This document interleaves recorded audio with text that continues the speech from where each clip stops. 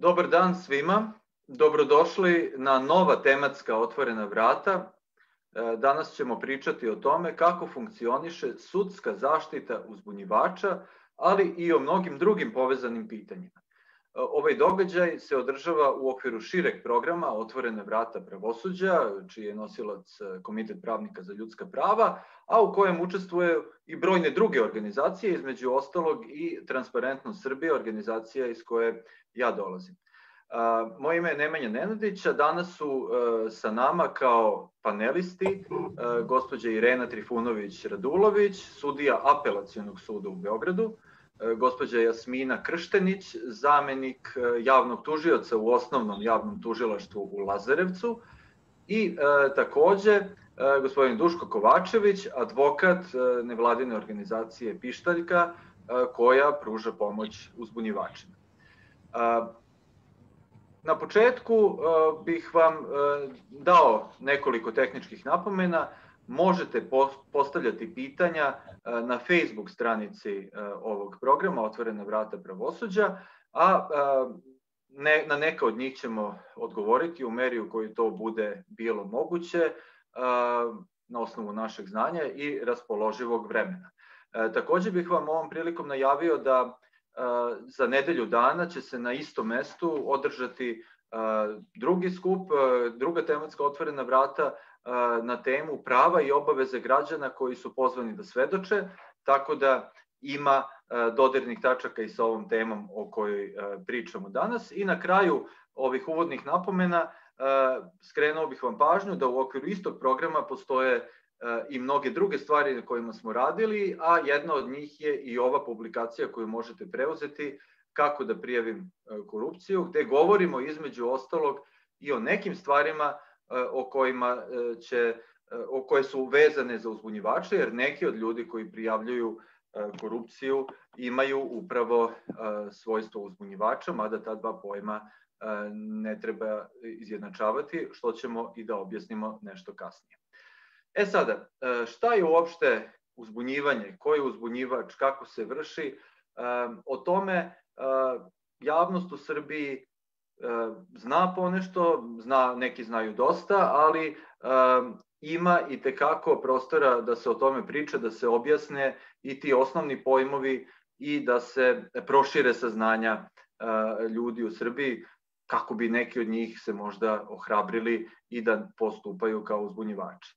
Uzbunjivanje je u principu otkrivanje nekih informacija, dakle saopštavanje nečega što E, po prirodi stvari, čim je reč o otkrivanju nečega što nije ranije bilo poznato i može se vršiti poslodavcu, dakle može se vršiti unutar e, nekog radnog kolektiva, bilo da je reč o javnom ili privatnom sektoru, dakle tu zakon ne postavlja granice, on važi e, za, za sve sektore društva, za sve delove zajednice.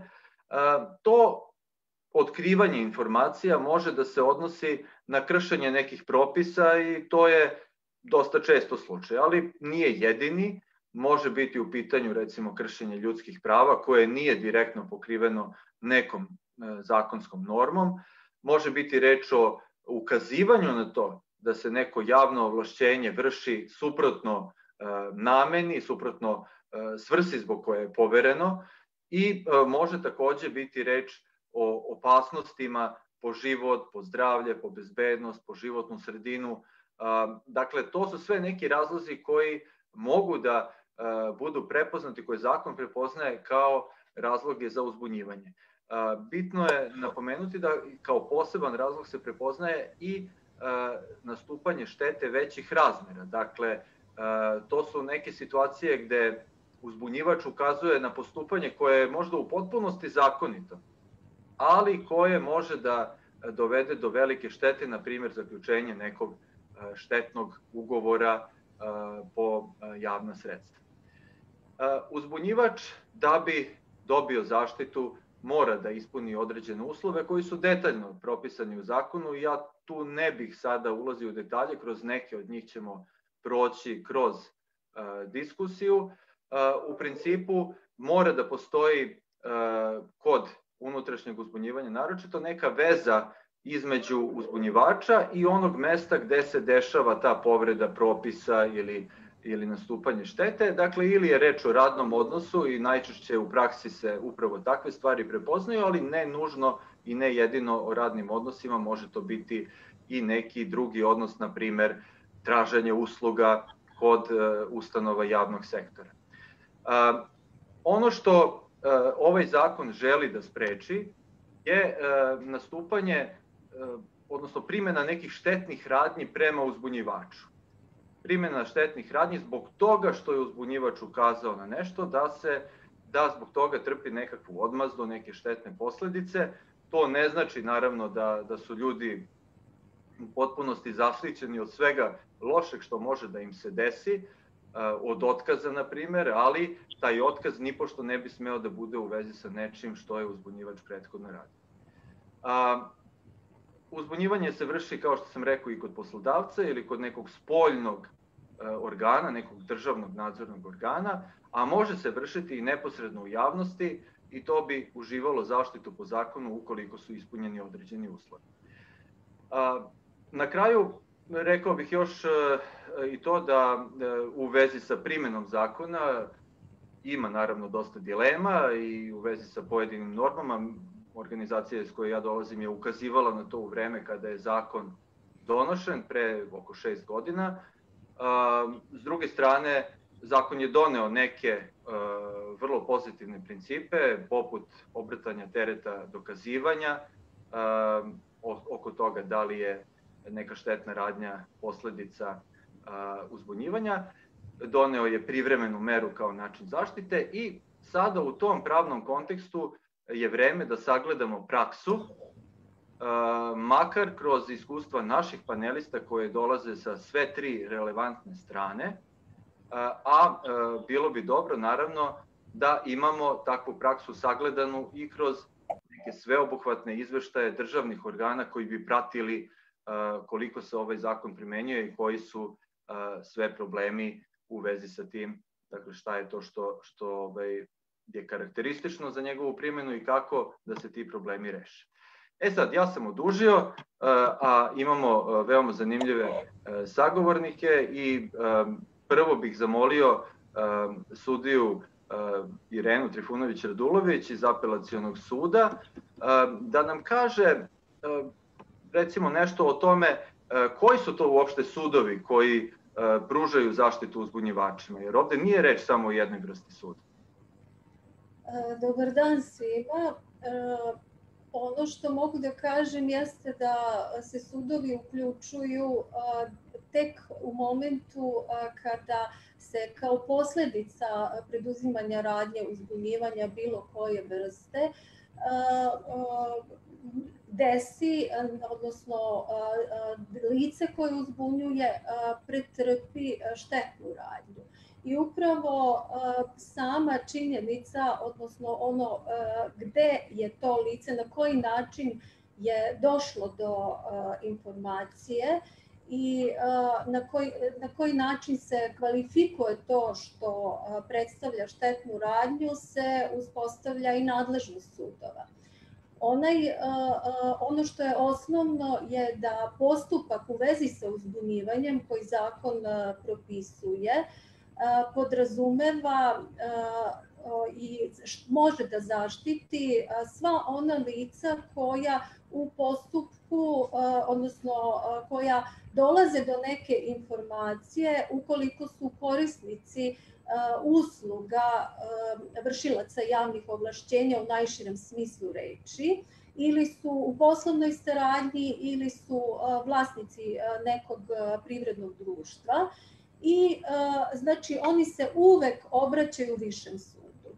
Kod zaposlenih, e, znači lica koja u vezi sa nekim odnosom, koji ne mora biti formalno radni odnos, ali je svakako odnos u vezi sa obavljanjem nekakvog rada, e, se pravi razlika kod nadležnosti utoliko što Ukoliko je ta štetna radnja e, koju je lice pretrpelo kao posledicu uzbunjivanja, dakle ta odmazda, faktičke prirode i vrši se u toj radnoj sredini, tada će postupati viši sud, a u slučaju da je reč o pojedinačnom aktu kojim se rešava o pravima, obavezama i odgovornostima zaposlenog, to su što bi građani mogli najbolje da shvate ona rešenja o otkazu ili o raspoređivanju na radno mesto koje nije posledica najčešće e, nekih e, objektivnih razloga, e, onda se zaštita pruža u posebnom, posebnim postupcima, to su takozvani radni sporovi, koji se opet, zavisno od toga da, kakav, kakav je položaj tog lica, status tog lica, odnosno poslodavca kod koga obavlja posao nadležni su upravni e, sud i osnovni sud. I ono što sam zaboravila da kažem kod te faktičke radnje, e, te e, znači štetne radnje koja je faktičkog karaktera, da bi opet moglo da se shvati šta je to, a postupa viši sud, to bi bilo ono što se popularno naziva mobbing. Znači to su neke radnje faktičkog karaktera koje zbog toga što je izvršio uzbunjivanje zaposleni trpi u toj radnoj sredini. Da ne ulazimo u detalje, pričat ćemo o svemu kasnije. Hvala veliko. Sada bih dao reč gospođi Jasmini Krštenić da čujemo kako stoje stvari kad je reč iz ugla kad, kad je reč o uglu posmatranja tužilaca.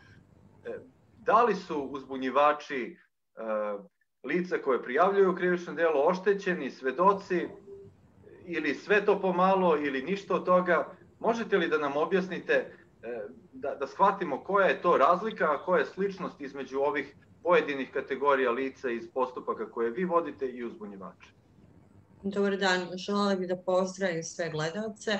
E, kada je u pitanju rad javnog tužioca i javnog tužilaštva vezano za zakon o zaštiti uzbunjivača, potrebno je naglasiti da zakon o zaštiti uzbunjivača definiše e, tri vrste uzbunjivanja. Unutrašnje uzbunjivanje, spoljašnje uzbunjivanje i uzbunjivanje javnosti.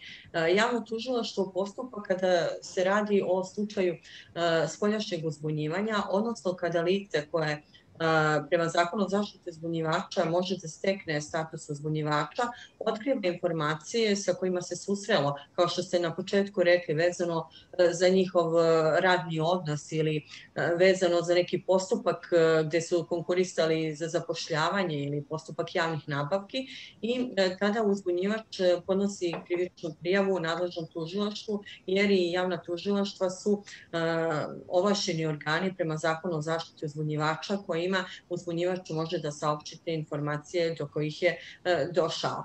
E, uzbunjivač prema zakonu o zaštiti uzbunjivača i zakonik o krivičnom postupku koji će se primenjivati u ovim situacijama e, može da ima jedan od tri položaja, odnosno on može da bude samo podnosilac krivične prijave koji će se u toj krivičnoj prijavi koji će potpisati gde će navesti svoje podatke e, javnom tužiocu e, pozvati na zakon o zaštiti uzbunjivača, što znači da je on te podatke koje je naveo u krivičnoj prijavi i dokaze na koje ukazuje e, saznao i došao do tih dokaza na osnovu svojstva po osnovu kojeg se pojavljuje kao uzbunjivač E, zatim, on može da bude i svedok ukoliko ima e, saznanja konkretna u vezi e, informacija koje prijavljuje, a zatim može da bude i oštećeni. Znači tim krivičnim delima koja prijavljuje, on može da bude i oštećeni.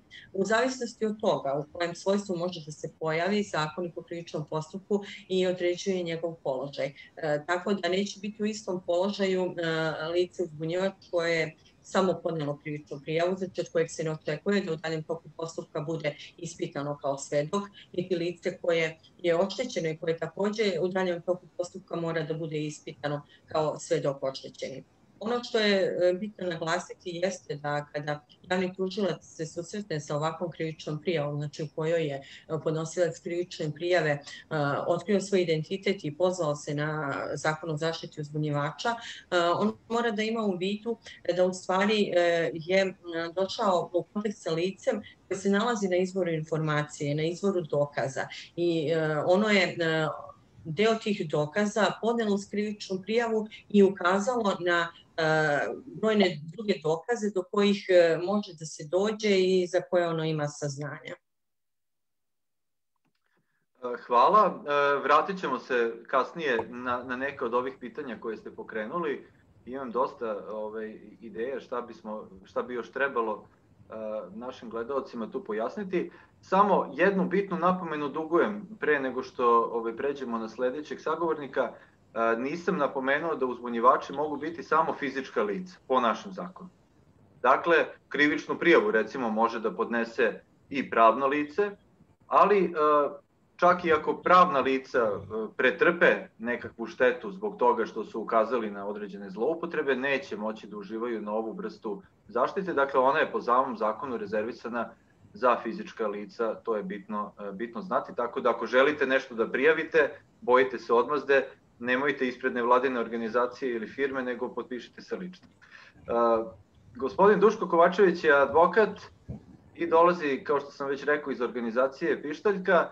E, Duško, vi se često susrećete sa, sa uzbunjivačima, možda možete da nam date neku sliku e, oko toga iz kojih sektora uglavnom ljudi dolaze, kada dolaze, da li već kad su izvršili uzbunjivanje ili kada pretrpe štetnu radnju, šta su u stvari glavne karakteristike primjene zakona iz vašeg ugla? Hvala, e, e, pozdrav svim sagovornicima. Pa samo pre toga, kao što ste rekli, e, Nemanja, jeste, znači fizičko lice može da bude jedno uzbunjivač, zato što štetnu radnju može da trpi samo fizičko lice. Znači uvek se iza nekog pravnog lica krije neko fizičko lice. Znači, redko kad se dešavalo da pravna lica mogu da budu odgovorna. A uzbunjivači, pa gledajte, znači imamo široku lepezu. Znači imamo uzbunjivače koji dolaze, koji su lekari, koji su sudije, koji su novinari, koji su domari. Znači, ne postoji e, segment e, e, društva iz koga se pištaljci kao organizaciji koja jedina na ovim prostorima pruža zaštitu ne javljaju uzbunjivači. Znači, to su ljudi koji se javljaju u momentu kada su već učinili neku prijavu ili kada planiraju da učine, učine neku prijavu. Pa onda se javljaju pravnom savjetu pištaljke i traže savete kako to da urade najbolje moguće. E, to su ljudi, rekao sam, znači, e, e, pričam sad o uzbunjivačima koji su istinski uzbunjivači, e, ne oni koji žele da e, taj zakon izigraju ili, ili da neku zlopotrebu učine. Znači, to su ljudi koji, kojima nije stalo, kojima je u stvari najbitnije da dokažu da to što su prijavili da, da je tačno. Znači, da nisu neki tamo ljudi koji idu po po firmi ili ne znam nija u svojoj radnoj organizaciji i, i, i neki su dežurni krivci. Tako da e, stvarno dolazi veliki broj, e, nama se javlja veliki broj, veliki broj ljudi, kao što sam rekao, znači u momentu kada su već i pretrpeli štetnu radnju ili kad će tek da je, kad, kad će tek da je, da je pretrpe. I to je onda ceo jedan mehanizam mora se pokrene kako tim ljudima da se na najbolji na, način predoči kako da ostvare zaštitu. Jer to što neko uzbunjivač ne mora da znači da će ostvariti sudsku zaštitu da bi on ostvario mora da ispoštuje određene procedure, odnosno da ispoštuje ono što zakon, e, zakon e, nalaže. Tako da tu imamo veliki, veliki broj, veliki broj e, slučajeva gde iz svih raspoloživih, što bi se reklo, i snaga, i znanja, i što bi rekao naš narod, iz petnih žila, pokušamo da usmerimo tog uzbunjivača ako već se odlučio da ide uzbunjivanje, u, koj, u kom pravcu da ide da i mogu da ostvari zaštitu. Da, hvala Duško. Kasnije ćemo malo popričati upravo o tome koji su to uslovi i ponajbolje na primjerima iz prakse. I e, ja sad vraćam, e, vraćam e, loptu ponovo na sud, ponovo pitanje za gospođu Trifunović. Vi ste pomenuli u uvodu da postoje različiti sudovi i da se to koji će biti sud nadležan određuje u zavisnosti od toga kakav je to tužbeni zahtev, kakvu vrstu zaštite uzbunjivač traži u vezi sa kakvim štetnim radnjama. E, pa bilo bi dobro da sada možda čujemo nešto o onim slučajevima kada se e, uzbunjivanje, kada se štetna radnja e, odnosi na nešto što nije nužno vezano za, samo za radne sporove i koji su to tužbeni zahtevi u principu koje uzbunjivač može da iznese na osnovu ovog zakona. Šta je to što dolazi pred sud? Po zakonu se pred sudom može tražiti utvrđenje, znači da sud utvrdi da je prema uzbunjivaču preduzeta štetna radnja. I to je osnovni zahtev u odnosu na koji su ostali zahtevi posledični i u kojima u kojim ostalim zahtevima je to prethodno pitanje bez obzira da li je postavljeno kao takvo. Šta to znači? Traži se dakle da se tokom postupka, odnosno kao rezultat postupka, utvrdi da je nešto što predstavlja postupanje faktičko, kada je, samo kada je uh, iz radnog odnosa, ali uh, pitali se me za, za ovaj, korisnike. Ne nužno radni odnos, znači može biti znači za korisnike uh, usluga neko faktičko postupanje ili uh, nekakvo drugo postupanje koje je praćeno i nekakvim postupcima od strane uh, organa javne vlasti, nosioca javnog ovlašćenja. Dakle, da se utvrdi da je to štetna radnja i takav zahtev mora da se drži jasno opredeljenje u čemu bi se sastojala ta radnja, znači da bi moglo da se zaključi da je ona uzbunjivaču, uvek moramo da kažemo i lica, to sam ja malo pre zaboravila, ili licu koje je povezano lice sa njim, Znači, e, da li je na taj način njemu povređeno pravo, ugroženo pravo ili dovedeno u neki nepovoljan položaj. Radnja mora biti jasno opredeljena. Mi smo imali uh, kod korisnika usluga uh, zahteve u kojima su oni samo vođenje postupka nekog od strane organa javne vlasti, označavajući primjera radi oznaku postupka, ali bez načina na koji je vođen taj postupak i da to predstavlja grubo kršenje zakona, e, govorili i tražili da se utvrdi da je to ta štetna radnja. Ali mislite, mislite da su tražili, izvinite što vas prekidam, mislite da su tražili da, je šte, da se utvrdi da je štetna radnja to što je protiv njih pokrenut neki postupak. Upravo tako. Znači, u Iako je postupak pokrenut po pravilima. I upravo tako, jer mi imamo situaciju, to treba ljudi dobro da razumeju. E, imamo situaciju vođenja postupaka koji različiti organi sprovode e, u okviru svoje nadležnosti, po krivičnim prijavama, po nekakvim predstavkama, po nekim prekršajnim prijavama. I mi ne možemo reći da je svako takvo postupanje, čak i da bude ukinuta takva odluka u postupku po pravnom leku, grubo kršenje koje bi predstavljalo tu štetnu radnju koje povređuje, znači mora se u okviru tog postupka koji organ po službenoj dužnosti mora nastaviti ili pokrenuti zbog određenih indicija, u tom postupku ili bez indicija, ali svakako da postoji neko konkretizovanje da je nekim aktom povređeno pravo, znači da je grubo povređena odredba ili materijalno pravna ili procesna kojom se to lice dovodi u takav položaj i trpi štetnu radnju. Ne znam a, da li sam da. bila jasna.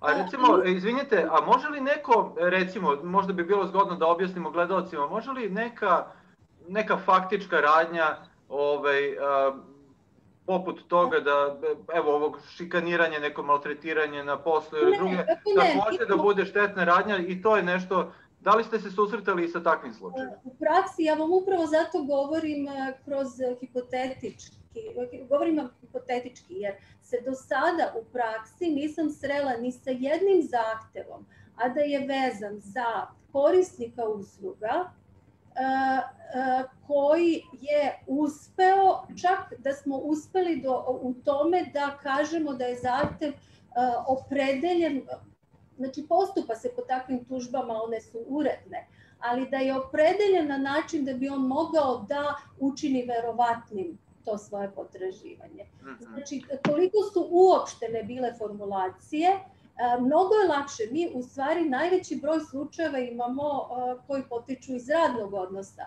jer se tu tu je jasna ta radnja, znači zaposleni se bilo šikaniranjem, bilo donošenjem pojedinačnog akta, dovodi u situaciju da može da opredeli šta je to štetna radnja i da se može razumeti. I sada naravno on, znači samo da završim da bi bilo jasno pa možemo raspravljati o, o ovom pitanju. Znači možete tražiti da se samo utvrdi da je preduzeta ta radnja i taj zahtev mora da se drži jasan činjenični opis takve radnje. Zatim može da traži da se zabrani vršenje i ponavljanje takve radnje u budućnosti, što je posledično i zavisi od ovog prethodnog, da se uklone posledice štetne radnje, da mu se naknadi materijalna ili nematerijalna šteta koja se dokazuje po opštim pravilima obligacijonih prava i da se objavi presuda u tom postupku, to je tek posledični zahtev.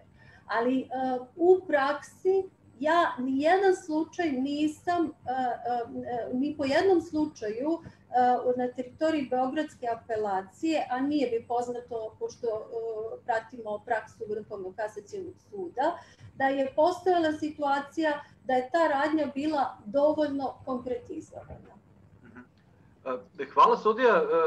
Duško, ima li nekih primjera ovaj, iz vaše prakse koji bi mogli da ilustruju ove različite vrste zahteva koje da. postavljaju uzbunjivači? Pa ovako, znači, ono što je bitno, treba razlikovati pritužbu i žalbu, znači nije sve uzbunjivanje. Ovo što je sudija govorila, e, to je stvarno, se dešava u praksi da, da, da ljudi misle da je e, e, sve što mu se desi u nekom postupku, da je to štetna ranja zbog, zbog uzbunjivanja. Znači, nešto je prigovor, nešto je žalba ali znači postoje u praksi pištaljke situacije da su korisnici usluga, ako o tome pričamo, prijavljivali i zbog toga što su prijavljivali trpali štetnu radnju. E, do duše, ti ljudi nisu otišli korak dalje, nisu ušli u sudski postupak, pa tako da je ovo što sudija kaže, bar za Beogradsku apelaciju i stav e, vezano vezano za praksu i vrhnog kasacijenog je, je, je ispravno.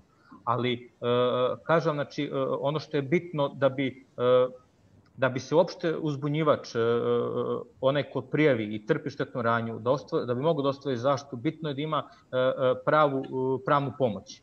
Znači, ovaj zakon je specifičan i zato je i proglašen kao najbolji zakon u svetu, znači to od ljudi koji se bave zaštom uzbunjivača preko 30 godina. traži da, da sudije, recimo, imaju završenu obuku u primjeni ovoga zakona. Tu, taj sertifikat i tu obuku vrši pravosna akademija Doduše sa Pravosnom akademijom je i Pištaljka obučala veliki broj i, uzbunji, i e, sudija i tužilaca i advokata, ali to je ono što je neophodno. Znači, e, mi e, ne možemo sad da pričamo o samo tim nekim slučajima ljudi koji nisu, eto, ili su želeli namerno da vrše zloupotrebu, pa su sad na svaku svoju neku pritužbu se pozivali na uzbunjivača. Ali imamo veliki broj uzbunjivača koji su stvarno pretrpili štetne radnje i koji su ostvarili pomoć sudsku zaštitu, jer su imali adekvatnu pravnu pomoć ili nisu je uspeli ostvariti ili nisu imali. Tako da, mislim, mislim da je, e, e, da je ono što je najbitnije da, e, da treba da se ide u suštinu, a to je da se pruži zaštita uzbunjivačima, jer i ovaj zakon se zove zakon o zaštiti uzbunjivača. Mi smo imali mi smo imali u početku e, primere e, gde je poslodavac, e, znači dok zakon još nije zaživeo, e, u rešenja kojima recimo dao otkaz uzbunjivaču naveo da je to zato što je povredio ugled poslodavci ili što je izvršio prijavu. To se više ne dešava. Poslodavci su naučeni da e, nezakonit otkaz mogu da prikriju kroz formu zakonitosti. A otkaz je nezakonit e, ako je dat zbog uzbunjivanja. Tako da se sada više ne dešava da poslodavac, e, da poslodavac napiše u rešenju da je otkaz dat uzbunjivaču zbog toga što je izvršio prijavu. Dobro. Ovaj, naravno, ovaj, e, da su da su se poslodavci takođe naučili, iako možda nisu prolazili kroz obuke ove vrste koje, koje ste pominjali, da ovaj, međutim ono što e, mislim da treba podsjetiti e, i gledalce jeste da, da je jedna od tih glavnih karakteristika pitanje dokazivanja. Znači, to je ono što sam rekao i na početku, da je na uzbunjivaču je ovde da učini verovatnim da je štetna radnja posledica posledica toga što je on uzbunio, znači to mora da postoji neka hronologija, a da je ovaj koji vrši odmazdu najčešće poslodavac u ovom slučaju taj koji treba da dokaže suprotno. Pa tako, po mom makar mišljenju i tumačenju zakona, poslodavac koji želi da otpusti uzbunjivača koji je jel da, u radnom odnosu i koji navodi da je razlog za to to što ovaj stalno kasni na posao ili krši radnu disciplinu, morao bi da dokaže da postupa jednako i u drugim situacijama prema svim drugim zaposlenima i tome slično, a to možda ne bi mogo da učini i vidjet ćemo ako bude bilo nekih primjera da se dosetite iz prakse gde se upravo ova ova stvar oko tereta dokazivanja razmatrala na sudu, to bi takođe bilo zgodno da čujemo ili ako imate komentar odmah može i sad. Evo, evo, evo vezano samo ako mogu se nadovežem, znači ovo nemanje u ste, znači poslodavac bi morao e, da dokaže da isto postupa i za druge e, i u odnosu na druge zaposlene. Mi smo imali praksu jednog uzbunjivača iz Požarevca koji e, kad je prijavio prijavio da određene pravilnosti, sada da ne navodim koje, znači poslodavac je uveo kontrolu kretanja samo za tog uzbunjivača.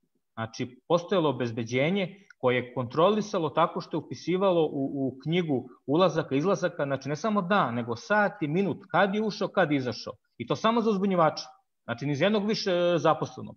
I to je bio e, nesporan dokaz da su sada štetne radnje nisu više u formi pojedinačnog akta, jer je pre toga dobio otkaz pa je vraćen u sudskom postupku, nego sada su forme, da, da su sad štetne radnje u formi e, faktičke, faktičke radnje, znači mobinga, ignorisanja ili bilo šta. Tako da jeste to, e, poslodavac mora da dokaže to ono što je sudska praksa e, stava, zauzela stav do stepena sigurnosti da je ili izvesnosti da je otkaz ili bilo koji pojedinačni akt donet zbog stvarne potrebe postali zato što je uzbunjivač stvarno kasnio a e, e, uzbunjivač mora da učini samo verovatnim i to onaj najniži stepen verovatnosti da je taj neki akt e, posledica uzbunjivanja. E, tako da to da, sam... da, hvala, hvala na ovoj intervenciji. E sad, e, pošto znamo i iz rezultata istraživanja i iz prakse e, koju ima i pištaljka i transparentnost i, i druge drugi koji su zainteresovani za ovu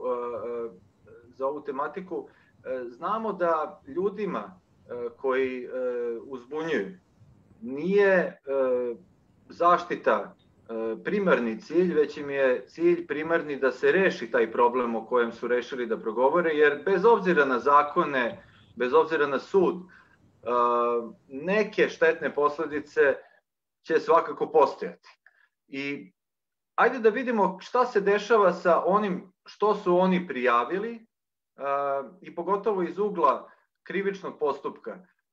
Da čujemo, gospođo Krštanić, kakva je situacija, može li uzbunjivač da dobije recimo neke dodatne informacije ovaj, od tužilaštva o tome kako se postupa ako je reč o nekom mogućem krivičnom delu i kako vi uopšte možete da prepoznate da li je neko uzbunjivač. Da li pravite tu razliku? Znači, to je u onom uvodu ste nam već ukazali da postoje mogućnosti jel, da, da uzbunjivač bude lice koje je podnelo krivičnu prijavu, da, da ima neka e, saznanja. A da li e, postoji neka posebna prava, da li ste, da li ste ovaj, e, razmatrali to pitanje? I druga stvar, a, možda ovaj, da nam kažete, e, pošto u zakonu o zaštiti uzbunjivača postoji ona odredba da treba da se čuva e, tajnost podataka o licu koje je uzbunilo.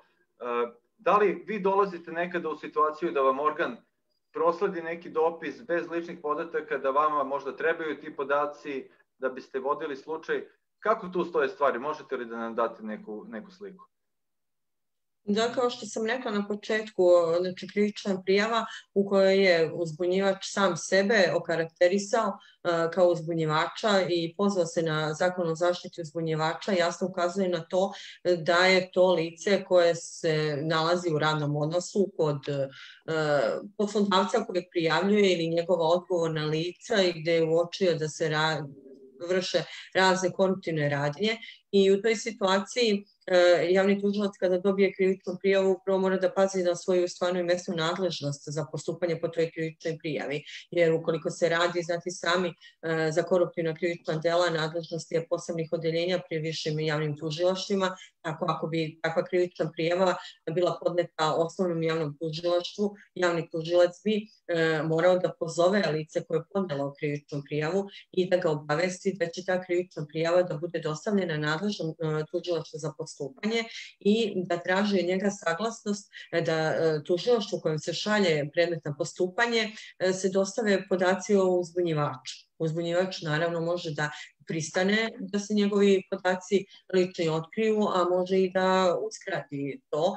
E, tako da u zavisnosti od toga, kada se pošalje takva krivična privana nadležnost, e, u dopisu kojim se šalje biće tužilaštvo koje je nadležno za postupanje naglašeno sve to da je krivičnu prijavu podnelo lice e, koje se pozvalo na zakon o zaštiti uzbunjivača, koje ima svoje suzbunjivača i koje je želelo i da njegovi podaci budu e, sakriveni ili koje je želelo da njegovi podaci budu otkriveni, jer tužilac se mora da objasni podnosnici krivične prijeve uzbunjivaču e, da će e, najverovatnije u toku postupka biti potrebno e, da se otkriju njegovi podaci kako bi mogli da se provere sve informacije na koje on ukazao u krivičnoj prijavi i kako bi mogli da se prikupe potrebni dokazi i da se provere svi navodi krivične prijave. Mm -hmm. Dobro. Hvala vam.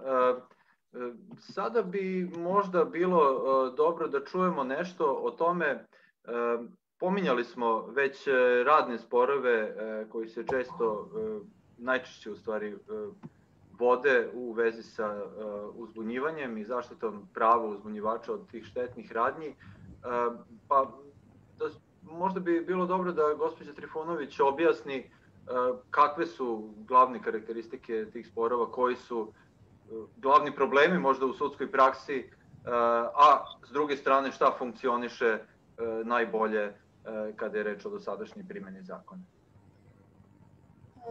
Radni spor je već postojao u našem zakonodavstvu kao zaštita prava zaposlenog kada je donet pojedinačni akt kojim se rešava njegovim pravima, obavezima i odgovornostima i upravo su se e, prvi problemi u praksi javili zbog toga što taj pojedinačni akt kojim se rešava, znači otkaz, raspored, e, a koji nije e, faktičke prirode kao mobbing, se u ovom postupku često identifikovao kao štetna radnja sada e, kako e, pružiti zaštitu s obzirom da e, činjenični sklop koji vi imate je identičan i u jednom i u drugom postupku i to inače ne bi predstavljalo smetnju da same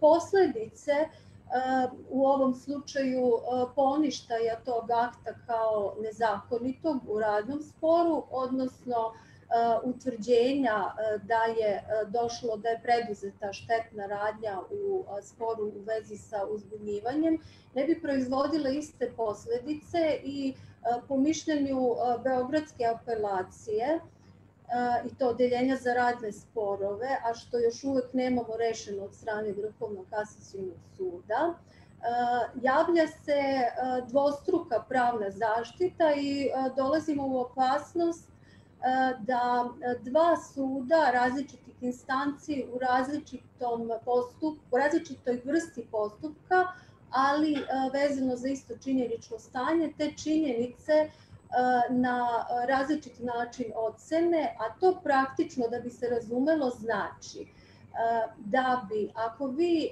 vodite radni spor, mogli da dođete u situaciju da vam se taj akt oceni kao zakonit e, i da se prosto odbije zahtev, a e, to onda, e, ne, onda bi došlo do, do kontradiktornosti u, u odnosu na faktičku radnju koja bi bila cenjena u postupku pred više, na faktičku radnju u odnosu na utvrđenje povrede koja bi u, u postupku pred višim sudom u suštini predstavljala to isto, znači ne predstavlja isti zahtev, ali ocenu da je postupano tako da je lice pretrpelo štetu.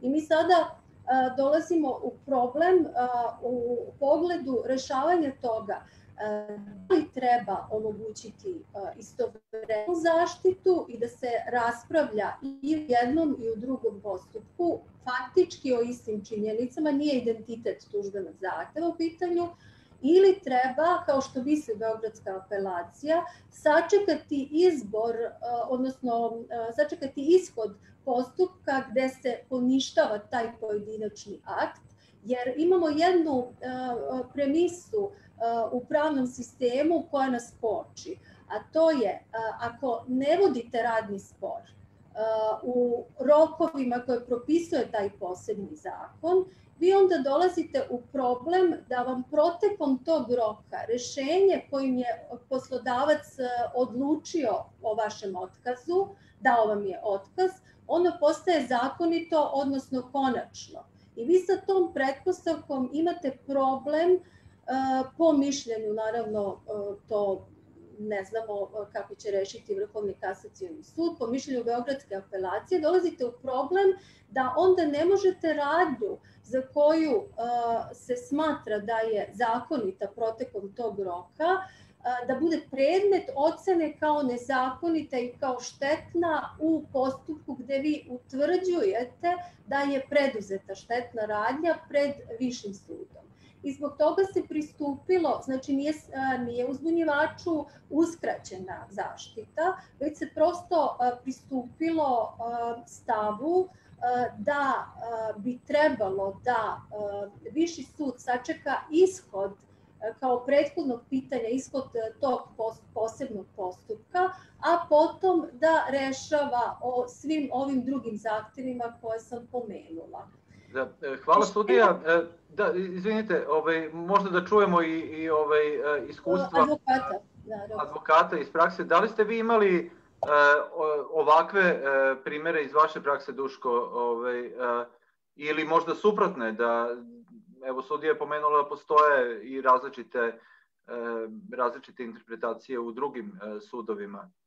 E, imamo i primer da nam navedete, da, da, možda, da, možda bilo zanimljivo da da čujemo i na taj. Ne, ne, imamo, imamo imamo što kaže istu praksu kao što imamo sudije različito i to je ono upravo što je dobro. Znači, e, ne treba suzavati mogućnost zaštite uzbunjivača. Znači, ako je namera zakonodavca bila da donese zakon koji se zove zakon o zaštiti uzbunjivača, onda treba raditi sve da se ti ljudi zaštite. Šta ovde može bude problem ako mi prekinemo postupak?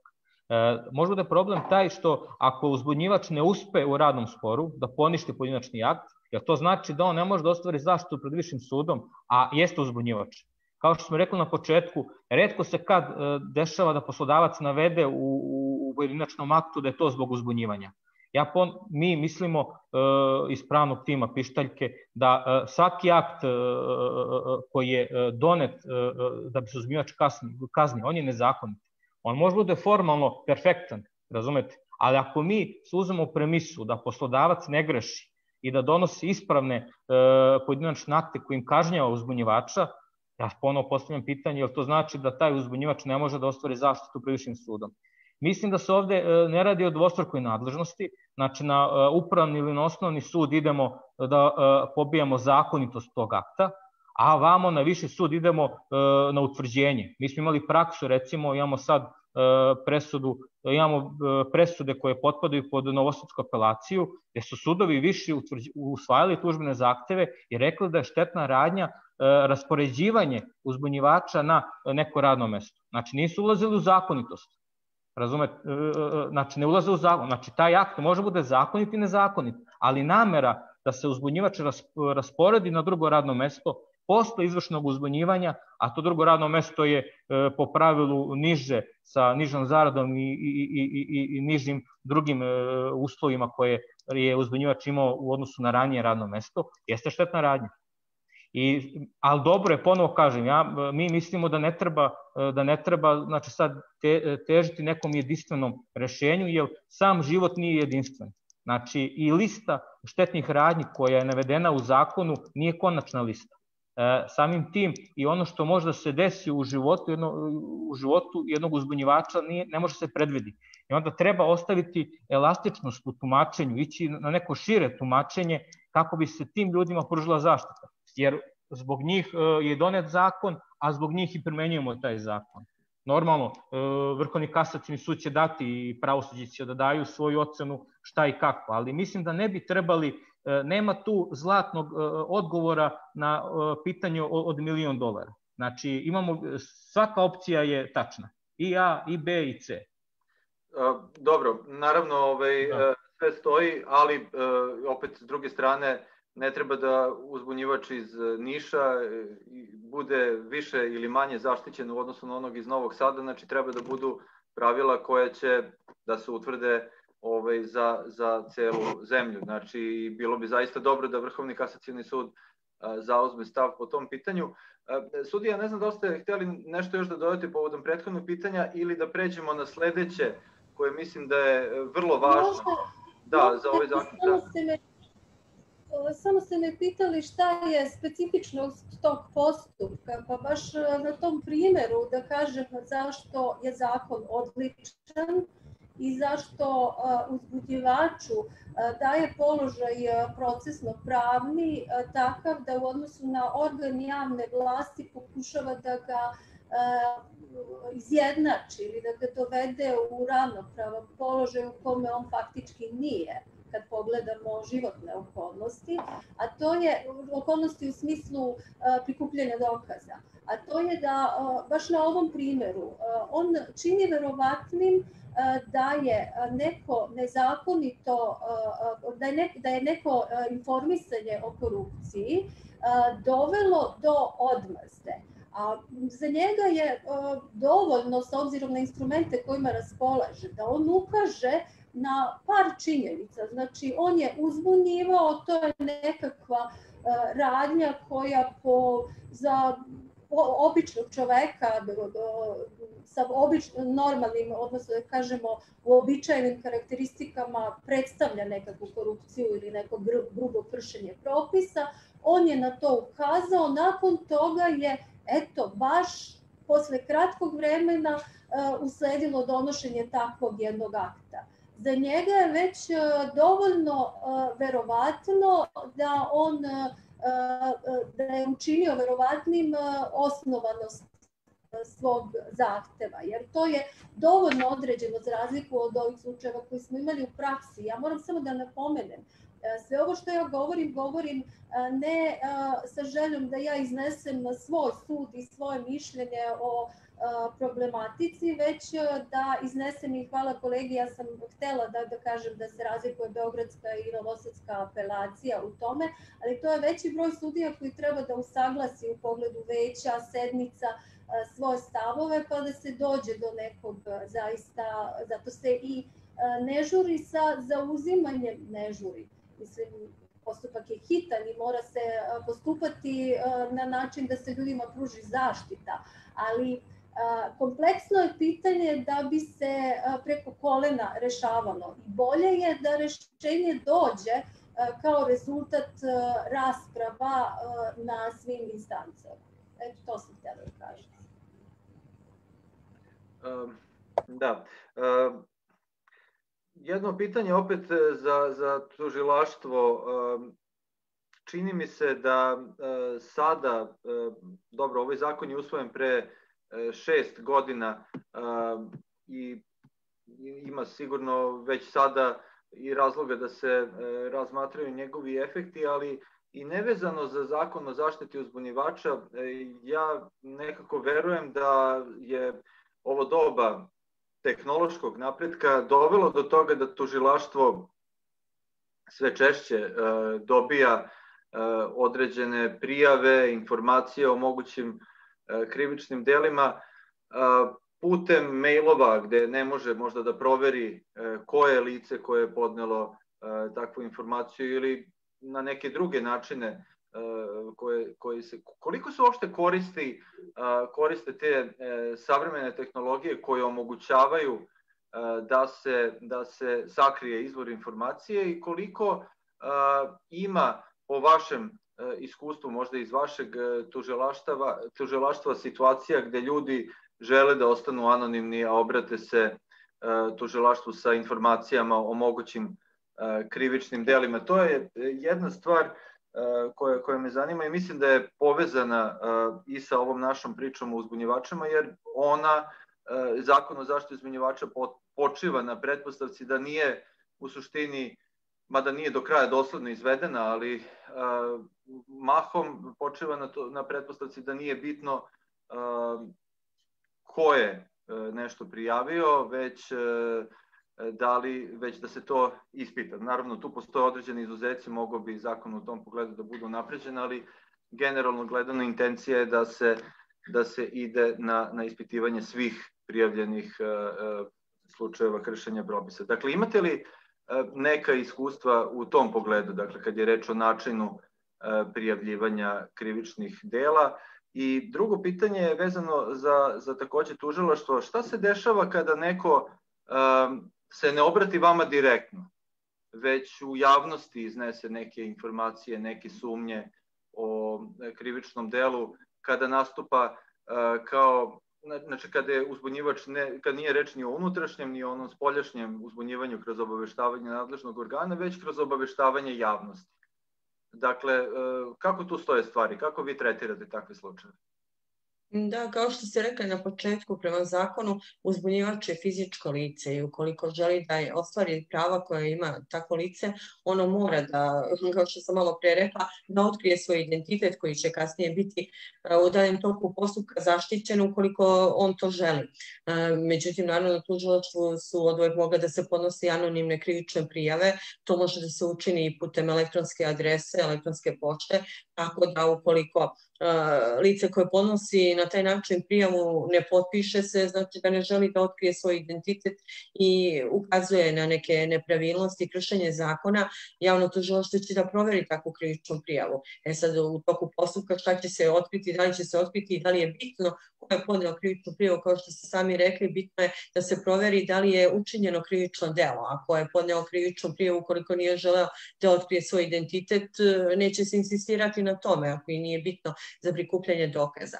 E, kada ste pomenuli otkrivanje informacije u javnosti, to bi prema zakonu o zaštiti uzbunjivača bila treća vrsta uzbunjivanja, odnosno uzbunjivanje javnosti i e, zakon predviđa e, tu mogućnost samo u izuzetnim situacijama, znači kada bi praćenje ovog redovnog postupka za podnošenje krivične prijave dovelo do ugrožavanja javnog zdravlja, do bezbednosti, do naručavanja životne sredine, tada je moguće otkriti informacije u medijima. Međutim, ukoliko ti razlozi ne postoje, i zakon sam predlaže uzbunjivaču da e, izvrši unutrašnje ili spoljašnje uzbunjivanje, odnosno spoljašnje uzbunjivanje, podnošenje krivične prijave nadležnom tužilaštvu ili e, policiji e, i to taj način podnošenja krivične prijave u stvari bi i bio bolji zbog dalje tog postupka prikupljanja dokaza, jer iznošenjem tih informacija u medije na taj način uzbunjivač i nesvesno upozorava mogućeg osumnjičenog. E, daje mu vremena da uništi dokaze, da prikrije dokaze kao što se i dešavalo. Tako da je najbolji način da to prijavi, da izvrši putem e, spoljašnjeg uzbunjivanja nadležnom tužilaštvu. E, mogu da vas pitam nešto što me od uvek zanimalo. Ako recimo neko pošalje dopis javnom tužilaštvu a, i ne kaže da je to krivična prijave, ne naslovi tako, nego pošalje jedan dopis, primjera radi, pošalje kopiju nečega što je poslao i nekom drugom.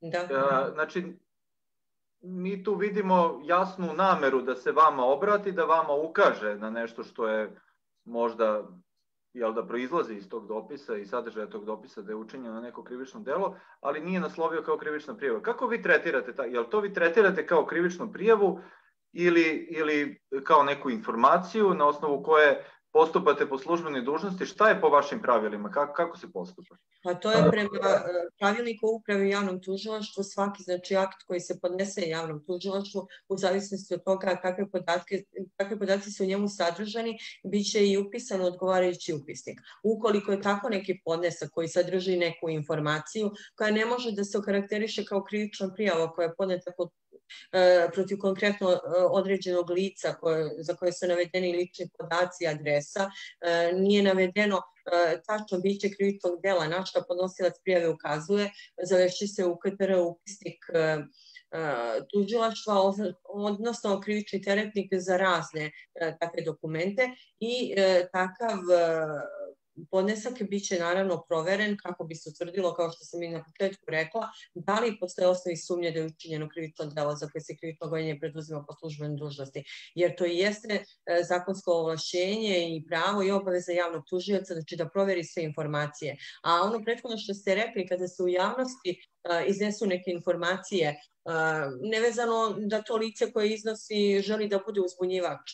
Javni tužilac takođe ima obavezu da sprovede proaktivnu istragu, odnosno da istraži sve te informacije ponovo da bi utvrdio da li postoje osnovi sumnje da je učinjeno krivično delo za koje se krivično gonjenje preduzima po službenoj dužnosti.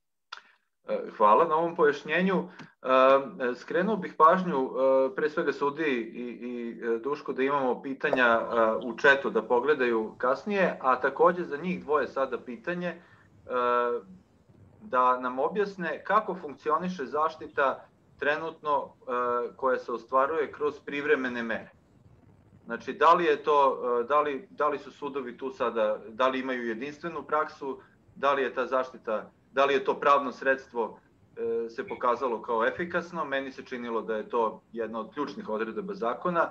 Ima li tu nekih problema? Bilo bi dobro da, da nam objasnite, pa ne znam, možda svako iz svog ugla ili, ili uh, ko se prvi javi za reč. Sudija, hoćete vi? Oko privremene mere, ne znam, imate li vi iskustva ili, ili Duška da zamolim? Može, ja sam, ne, ne, ne, ja sam samo obratila pažnju na ovo pitanje, pa sam htela Dušku da... Ovaj, to, to ćemo posle, evo privremenu meru moramo da objasnimo, to je jedna od ključnih stvari, pa ćemo doći na pitanje. Privremena mera, kao i inače sva pravila koje su sadržane u zakonu o zaštiti uzbunjivača, a procesne su prirode, ima za svrhu da omoguće, omogući bolji položaj uzbudnjivača, objasnit ću i kako u praksi. Sama činjenica da posebna žalba protiv takve privremene mere nije dozvoljena, znači da će se onaj nivo verovatnoće koji prvostepeni sudija proceni da je dovoljan, znači verovatnoće potraživanja, prosto da liči da bi taj zahtev mogao biti usvojen, a ne mora da znači, da je on zadovoljen. Dakle, vi sada, a neko je postavio pitanje kada uzbunjivač čini verovatnim, a kada ne štetnu radnju u vezi sa uzbunjivanjem. Ja sam malo pre rekla, naravno, to je sve faktičko pitanje, ali u nekom činjeničnom sklopu u kom uzbunjivač. I opet moram da se vratim na radni odnos kao primer, jer to su primeri iz prakse, a ne zato da baš naprotiv ohrabrila bih ljude, ko što kaže kolega Duško, da postoje ljudi koji trpe štetne radnje, a vezano je za štetne radnje koje, odnosno u statusu korisnika usluga, da se obrate sudu, ali što hoću da kažem, znači ako vi sada dobijete otkaz, vršili ste uzbunjivanje.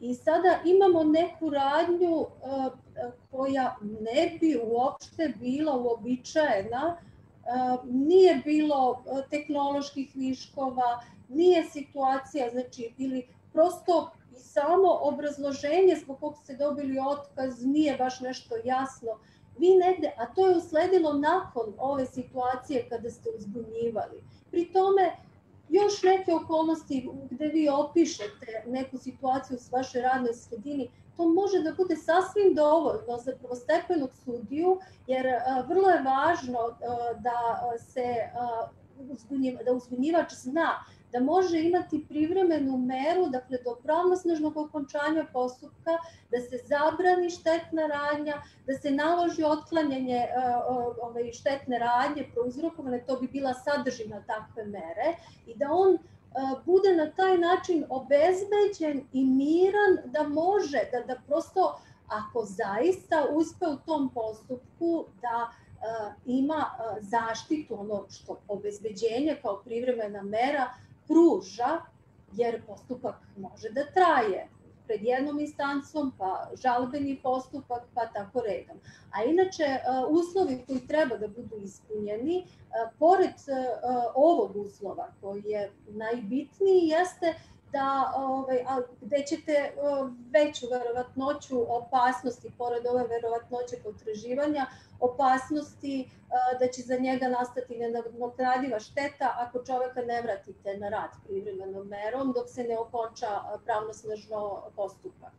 Znači, tako da je sama činjenica da se ipak prebacuje prvostepenom sudiji da do okončanja pravnosnažnog postupka na jednom tananom nivou verovatnoće, a posle će poslodavac tokom postupka dokazivati da je ta štet, da štetna radnja nije u uzročnoj vezi sa uzbunjivanjem, da mu se pruži takva zaštita. Inače, pre pokretanja postupka, Viši sud za sve vrste postupka, pa i ove posebne, može odrediti privremenu meru, kao i posle okončanja tog postupka u jednom posebnoj vrsti postupka koji se vrlo hitno rešava u roku od 8 dana, a u toku postupka, ukoliko se podnese takav predlog sa takvom sadržinom što sam vam rekla, sud koji vodi postupak, dakle viši za sve ono što sam opisala zahteve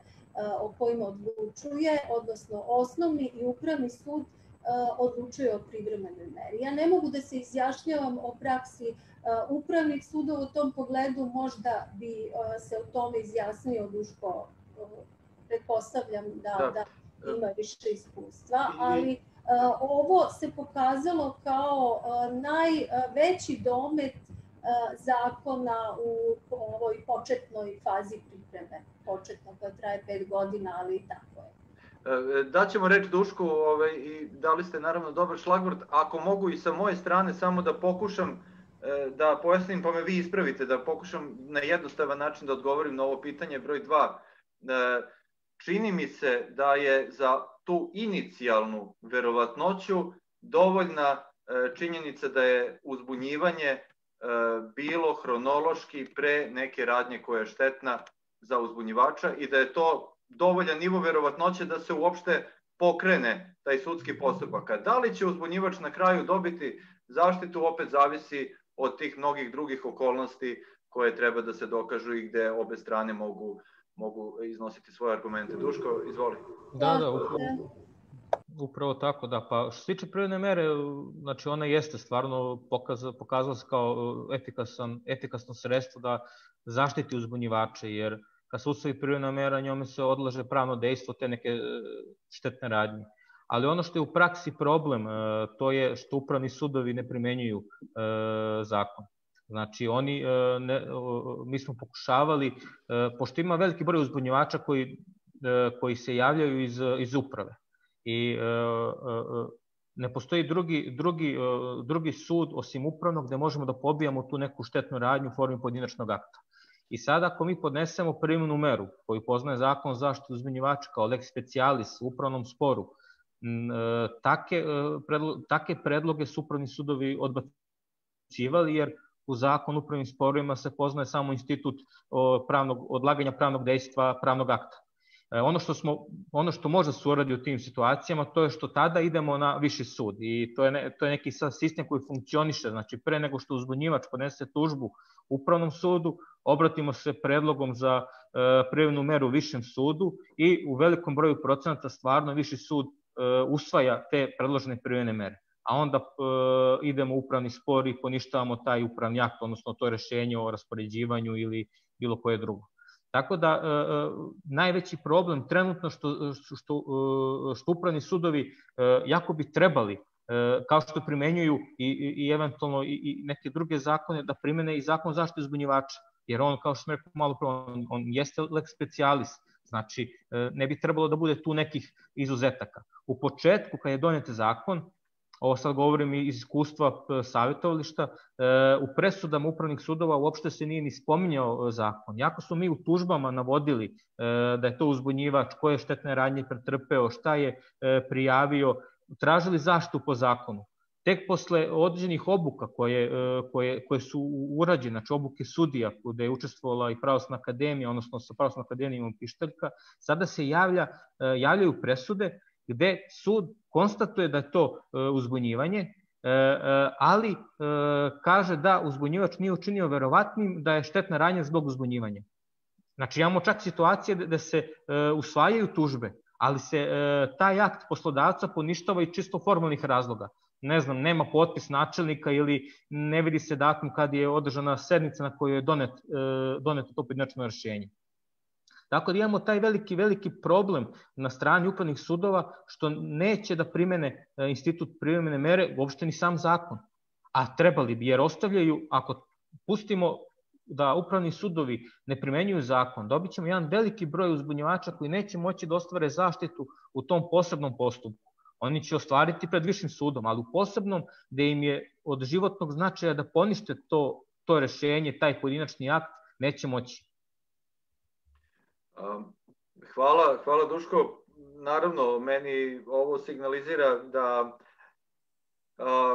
da je trebalo, da bi trebalo još dosta nekih stvari pojasniti u samom zakonu i kako ne bi došlo do, do različitih tumačenja ili nekih neispravnih tumačenja ili tumačenja suprotno volji i željama zakonodavca.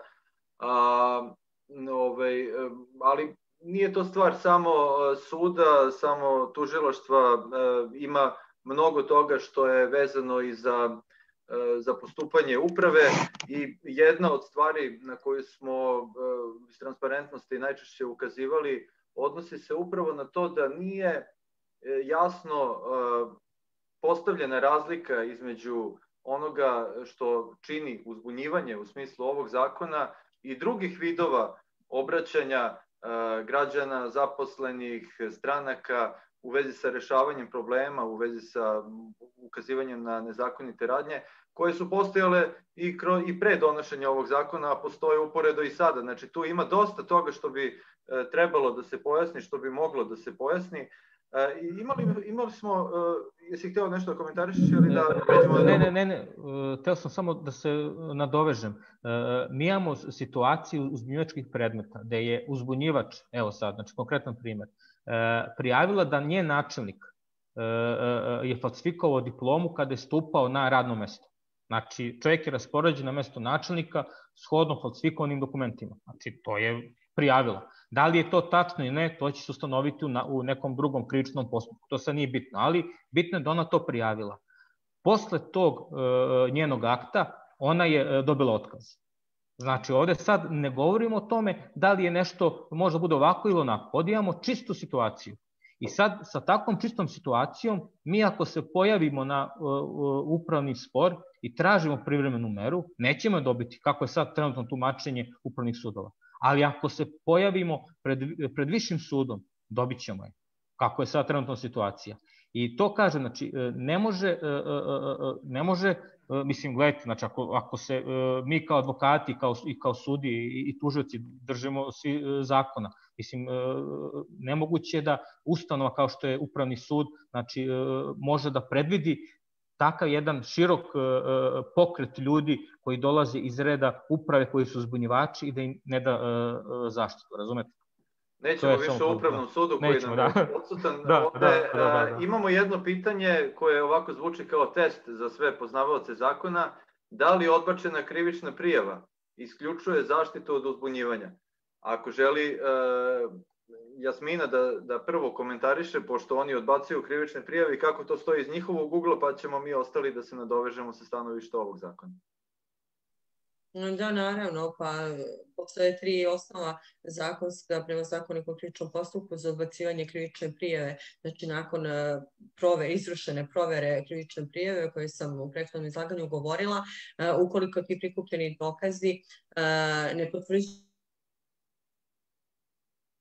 osnovanu sumnju delo, to zbog kojeg od kojeg se pošlo, koje je prijavljeno, ili neko drugo krivično delo za koje se krivično gonjenje preduzima po službenoj dužnosti, krivična prijava će biti odbačena. Takođe će biti odbačena ako to prijavljeno delo uopšte nije krivično delo ili ako postoje razlozi e, kao što su nastupanje apsolutne zastarelosti ili amnestije ili već e, da se radi o presuđenoj stvari, znači krivična prijava će biti odbačena. E sad, e, polazimo od toga da lice koje je podalo tu krivičnu prijavu, kao što je kolegi koleginica sudija prethodno navela, je postupalo u dobroj veri, imalo je opravdanu sumnju da pomisli da je zaista izvršeno krivično delo.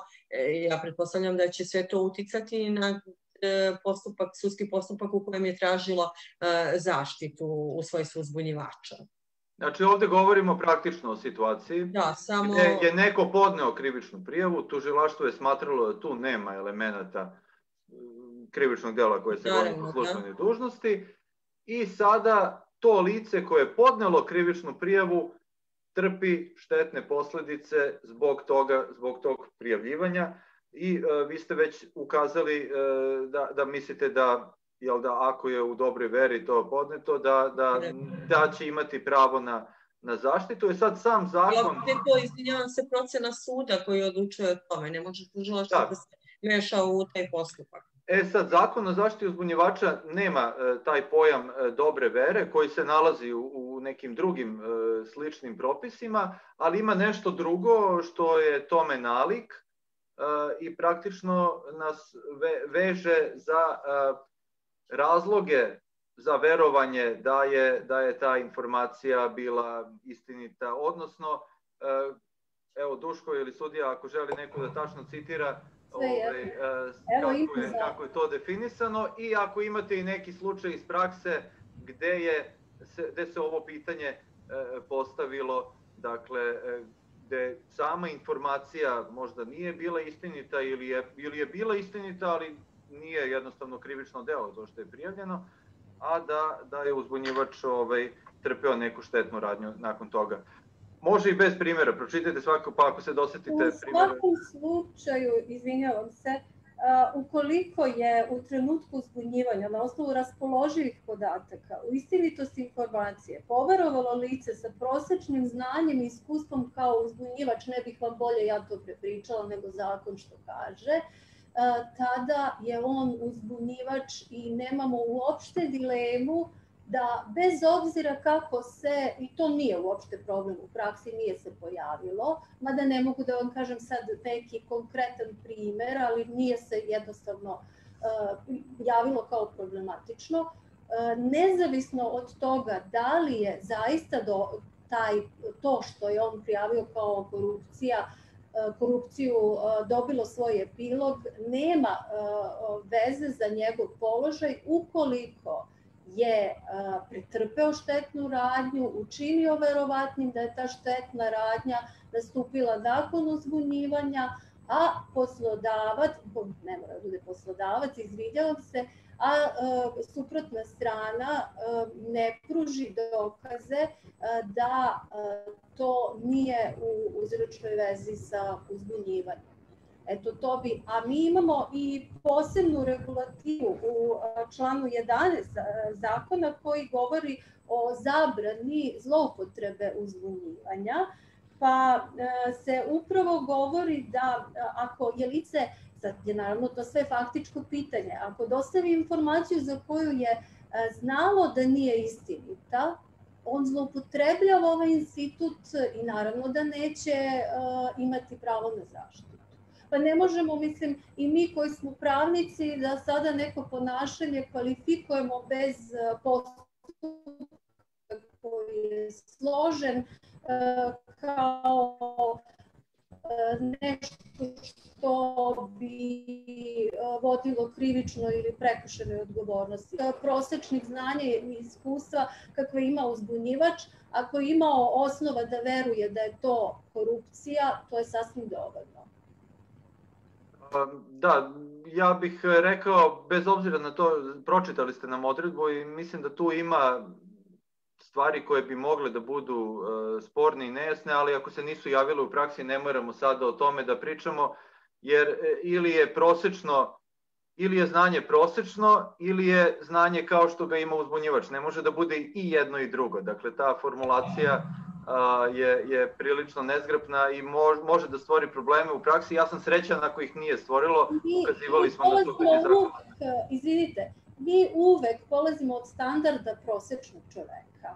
Pa smatramo da je i uzbunjivač prosečan čovek a, kome bi to predstavljalo korupciju. Naravno, cenimo faktički, ne možemo sad, zavisno da. činjeničkog sklopa. Sve je ovo sada uh, uh, diskutabilno kada imamo jedan slučaj uh, u kome raspravljamo o nizu pitanja i to je mnogo kompleksije nego što mi možemo danas da prikažemo. Da. Ali treba da otvorimo ta pitanja i da rešavamo svi. Imamo ovde, od čitalaca smo dobili i komentare, pozdrav jedan i za gospodina Kovačevića od jednog Valjevca, kome pomažete i koji ima probleme, ovaj, čini mi se baš da je pomenuo i upravni sud, ali nije bilo konkretnog pitanja. Pošto se bliži vreme kraju, možda ne bi bilo loše da čujemo nešto o, iz vašeg iskustva, Duško, šta je to što je, da kažemo, najčešće razlog E, da neko ne dobije pravnu zaštitu, gde se to gde to pogreše možda uzbunjivači u koracima, o čemu treba da vode posebno računa? e, da bi, da bi ostvarili zaštitu? Da li su to rokovi? Šta je, ili nešto drugo? Šta je ključno? Rokovi ima, da, rokovi jesu definitivno, ali, ali ono što je e, možda sada je se kaže, to što neko uzbunjivač, to ne znači da ima veća prava od drugih zaposlenih u tom nekom kolektivu mi smo imali situaciju uzbunjivača ko, koji su stvarno prijavili velike stvari i na osnovu njihovih prijava su neki postupci pokrenuti i okončani, mislim na krične postupke. Ali su ljudi napravili grešku što su učinili recimo težu povredu neke radne discipline pa su zbog toga e, dobili otkaz, odnosno dali su povod poslodavcu da opravda e, svoj odnos prema njima. Znači, e, to što je, ponovo, kao što se rekao, znači to kad je neko uzbunjivač, znači mora čisto da on ima prava, ali ima, ima i sad veće i obaveze, jer mora da vodi e, računa, a to je na, nažalost u svim slučajima uzbunjivanja, na svaki svoj korak. Znači, uzbunjivači sebi ne smeju da dozvole taj luksus da misle da imaju, neka, da imaju veća prava od drugih i da mogu sada da, da, da uteruju pravdu kod poslodavca vezano za, za neko drugo ili to postupanje koje su oni prijavili. Znači, uglavnom je bilo, uglavnom uzbunjivači ne ostvare zaštitu, znači ako ne, ne ispoštuju te rokove kad mogu da se obrate sudu ili rokove vezano za, e, za objavljivanje informacije ili kao što sam rekao malo pre, e, daju sebi E, mada i to donekle mogu da opravdam, znate, ako neko trpi, e, e, e, imali smo situaciju da je uzbunjivač morao, kad pored njega prođe direktor, da ustane i da ga pozdravi znači kao u vojsci. I taj čovjek je to trpeo par godina. I na kraju mu je, kad je, što kaže, njegov prijatelj dobio otkaz, on izgubio živce, skin otkaz sa oglasne table i gađao direktora. Uh, gledajte, to uh, sa ljudske strane ja opravdavam, ali kao što se kaže, sa pravne se ne može opravdati i on je dobio otkaz zbog teže podradne discipline. Tako da su to neki, neki slučajevi koji, koji e, nažalost, e, ono što smo i rekli, to što neko uzbunjivač ne znači da će dobiti zaštitu na kraju. E, samo znači treba da e, prvi uslov je znači da se e, da se gleda šta je u zakonu napisano i da traži e, pom, pravnu pomoć od od od stvarno ljudi koji se koji se bave tom materijom i e, Razumete, mislim, nekako je, e, čini mi se, ne treba uzbunjivače e, glorifikovati, znači nisu to neki superheroji, e, znači to su obični ljudi. Kao što sam rekao na početku, mi imamo znači, uzbunjivače i domare, imamo i sudije. Mislim, sutra ću možda ja biti uzbunjivač ili Nemanja vi možda. Znači, ne zna se. Tako da, ima nas i ima svakakih, ali treba treba stvarno voditi voditi račun. Jedno pitanje za sudiju, da ne ostanemo nedorečeni, mislim da je dosta bitno da meni je makar bitno ovaj, da sagledam, ovaj, ali verujem i drugim, i drugim e, posetiocima ovog foruma, naročito onima koji su takođe iz e, pravničke branše, šta je suština razlike kada se vodi uzbunjivački, dakle radni spor, u odnosu na druge radne sporove, šta je suština razlike u zaštiti ovog zakona u odnosu na onaj zakon e, o sprečavanju zlostavljanja na radu koji je u primjeni duži niz godina. Ako sudija vi imate neka iskustva u tom pogledu, to mislim da bi bilo zanimljivo da čujemo u, u kratko Dakle, koje su to ključne razlike? Jer znamo i radni sporovi su hitni, svi radni sporovi, ili tako? Da, I ovi su uzbunjivački hitni. Šta je to što, što je suština razlike među, među njima? A, ja bih ovo što je revolucionarno rekla da je teret dokazivanja. Sve ostalo mi imamo u drugim postupcima. Ja namerno nisam pomenula, imamo još jedan izuzetak koji je, na primjer, kod porodičnog zakona prisutan da se po službenoj dužnosti može, što nije u drugim parnicama slučaj, ispitivati i utvrđivati one činjenice na koje uzbunjivač nije ukazao, čak one koje među njima uopšte nisu sporne, ako sud za primenu zakona kao instituta koji, u kome postupa nađe da su to relevantne činjenice. Tako da su meni, to bih izdvojila kao posebno i to smo implementirali u našem pravnom sistemu donošenjem ovog zakona i u radni spor koji smo imali. Dakle, kada Znači, zahtev izgleda isto. Nažalost, vladajući stav, pošto je lex specialis, da su rokovi koji su kraći za poništaj akta, drugačiji nego i važeći su rokovi iz zakona koji regulišu radno-pravnu materiju, pa tu može da se javi problem sa rokom, jer je ovde šest meseci od učinjene povrede u okviru tri, odnosno od saznanja u okviru tri godine od učinjene povrede, pa može da zakasni sa tužbom, ali sve do zaključenja pripremnog ročišta, ukoliko ukaže da je otkaz ili neka, neki akt posledica uzbunjivanja, ukoliko ukaže na to, sve ostalo se implementira iz ovog zakona, što njemu naravno ide u prilog. Ja bi to istakla, evo da čujemo šta će i advokat reći. Pa isto, znači, da ne, ne, slažem se, znači to su stvari stvarno istražno načelo i tere dokazivanja postavljene na način kako je postavljeno zakon o zaštiti uzbunjivača su e, na, e, najvažnije stvari, ali takođe i prijevena mera. E, e, mi imamo u radnim sporovima, isto postoji mogućnost, znači pričamo o radnim sporovima nevezano za uzbunjivanje, običnim, tako, tako nazovem. Isto može se ponosi prijevena mera, ali to, ja ne znam iskreno iz svoje neke prakse da to, da, da to funkcioniše, a ovde stvarno u radnim sporovima e, vezano za uzbunjivanje stvarno e, zaživelo i to je e, po meni isto jedna od, od značajnih razlika u odnosu na ove obične sporove. Hvala. Pošto nam se bliži vreme kraju, malo smo čak i prekoračili termin, ja bih se zahvalio svima koji su nas pratili. Zahvalio bi se panelistima.